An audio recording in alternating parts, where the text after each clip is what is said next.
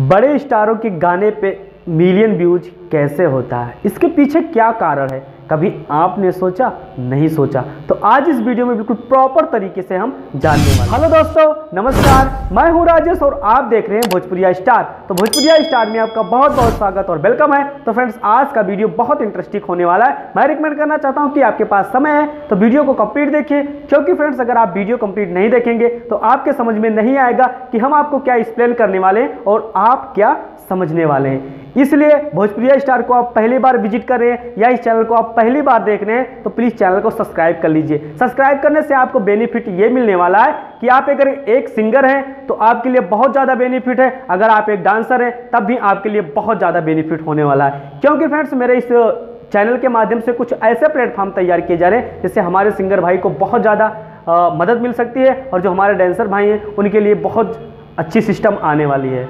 तो चलिए हम वीडियो को स्टार्ट करते हैं बिना समय गंवाएँगे यहाँ पर बात ये निकल के आता है कि आज के डेट में जो बड़े स्टार लोग हैं। उनके गाने पे एक दिन में आपने देखा होगा यूट्यूब पे मिलियन व्यूज़ आ जाते हैं। आखिर कैसे आते हैं? इसके पीछे क्या रीज़न है? क्या इतने लोग के फॉलोअर जो होते हैं, वो एक्टिव होते हैं? हमेशा जैसे मान लीजिए कि आज की डेट में कोई भी बंदा सुपर स्टार हुआ तो क्या उनके जो फॉलोअर बनते हैं, वो हमेशा आपके प्रति एक्टिव रहते हैं? नहीं रहते, क्योंकि हर आदमी को अपने, अपना कुछ काम होता है, अपना बिज़नेस होता है। उसके बाद जब वो फ्री होता है तो यूट्यूब पर बैठता है और देखता है कि आखिर यूट्यूब पर क्या क्या नया चीज़ आया है क्या नहीं नया चीज़ आया है, वो देखता है, देखने के बाद आपके गाने तक पहुँचता है और आपके गाने को प्ले करता है। लेकिन यहाँ पर एक दिन में मिलियन व्यूज़ कैसे आती है बड़े बड़े स्टारों के वीडियो पे?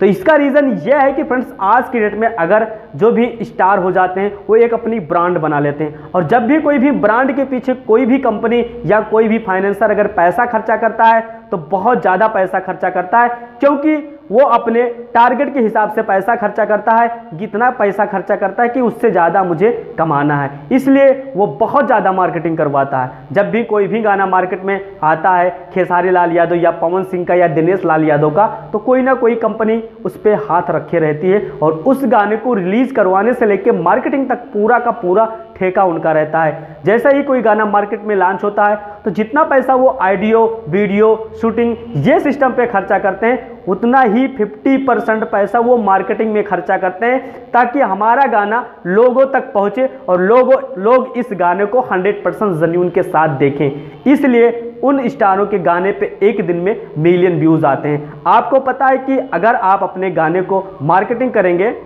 तो जो कंपनियाँ लोग पैसा खर्चा करती हैं, वो ब्रांड के ऊपर खर्चा करती और उन्हें पता है कि जिस ब्रांड पे हम पैसा खर्चा कर रहे हैं, उस ब्रांड से हमें बहुत ज़्यादा तगड़ी कमाई होने वाले इसलिए उस गाने को बहुत ज़्यादा मार्केटिंग करवाते हैं, लोगों तक वो गाना पहुंचाते हैं। लेकिन नए सिंगर ये काम नहीं कर पाते हैं, क्योंकि उनके पास उतना पैसा नहीं होता है, ना उनके पास उतना बजट होता है। इसलिए वो बहुत समय लग जाता है उनको पॉपुलर होने में, या उनका गाना पॉपुलर होने में बहुत समय लग जाता है। इसलिए जो बड़े स्टार लोग होते हैं, उनके गाने पे एक दिन में मिलियन व्यूज़ आ जाती है। क्योंकि मार्केटिंग में वो काफ़ी पैसा खर्चा करते हैं। उसी वीडियो पे पैसा करते हैं, जो वीडियो वो रिलीज़ करते हैं, ताकि लोगों तक पहुँचे और लोग इस वीडियो को देखें, ताकि काफ़ी से ज़्यादा से ज़्यादा रेवेन्यू जनरेट हो, जिससे जो पैसा हम लगाएँ, उस पैसे से ज़्यादा हमारी कमाई हो जाए।